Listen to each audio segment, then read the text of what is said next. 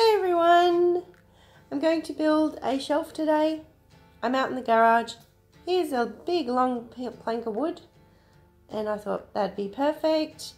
I have some smaller pieces of wood that I've had laying around so I've grabbed them in case I want to use any of those.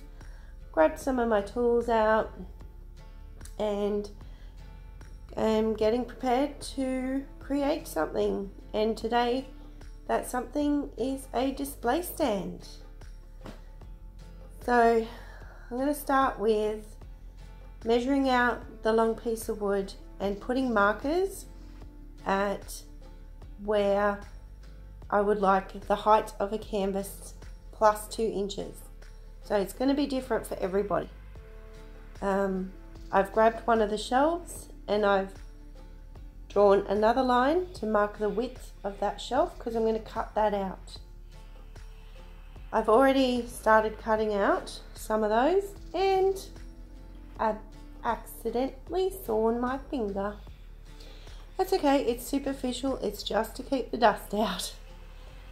So here is just sawing along one of the lines, then I saw along the other that I drew and then I will saw in between those two. So that makes it look like this.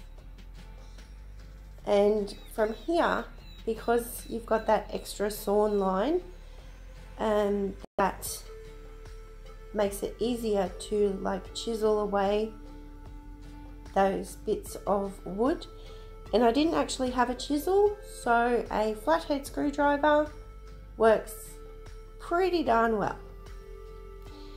So now I just give it all a nice sand all over and then I will put some PVA wood glue into those crevices. They're not really crevices. Into the spaces that I've cut out for the shelves. And so then the shelves will slot in nicely and they'll be weighted down and dry with that glue in there. The smaller ones that I used, um, they're not cut into the plank of wood, they are simply just, the wood glue is used and I weighted them down and so that's all that's holding them there. So, oh, sorry about that car. So now I've combined some of the sawdust into some PVA wood glue and I've just put that along all the edges to seal it up a bit and make it look non so non-gappy if that's even a thing. Give it a whitewash of paint which was my spring brand house paint with a dash of water added to it. At the top put on some felt bumpers and at the bottom I'm putting on some grip um, grip grip stuff. I don't know what it's actually called. Um, so I only could find black at this time. So I only put a small amount on that corner because that's the corner it will be sitting on. So here's how it looks. There we go. So I've got some varying canvases on there.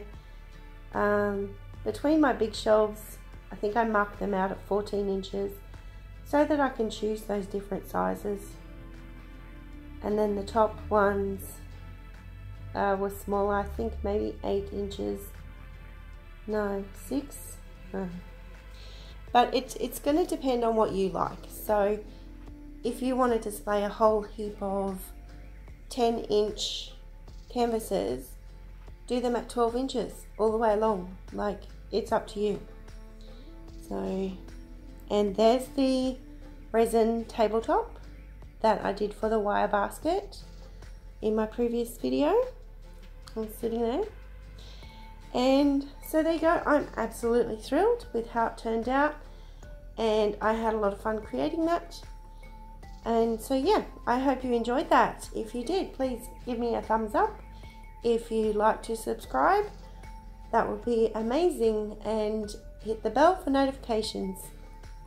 All right, leave me a comment, share if possible, please. And thank you. Be fabulous.